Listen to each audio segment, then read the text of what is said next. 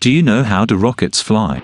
Rockets fly by using the basic principles of physics, specifically Newton's third law of motion, which states that for every action, there is an equal and opposite reaction.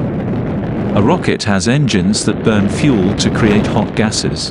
These gases are expelled out of the back of the rocket with great force, which creates a forward thrust that propels the rocket upward. The faster the gases move, the greater the force of the thrust, and the more the rocket is pushed forward. As the rocket rises, it continues to burn fuel, which creates more hot gases that push it even higher into the sky. The rocket is also designed with a pointed shape, which helps it to slice through the air and reduce drag. In simple terms, a rocket flies because the engines generate a powerful force that pushes it forward, and the rocket's design helps it to overcome the resistance of the air and continue climbing higher into the sky.